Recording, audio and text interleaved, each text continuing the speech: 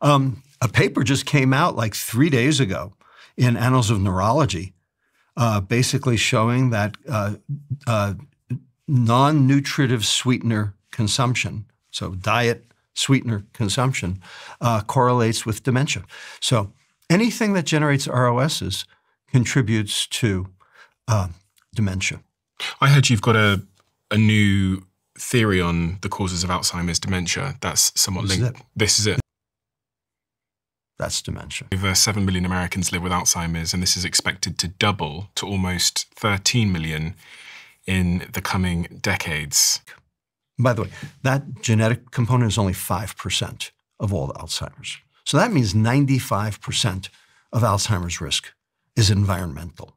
Now, the question is what in the environment? Ultra processed food is specifically associated with dementia, and even diet sweeteners are associated with dementia through this reactive oxygen species pathway.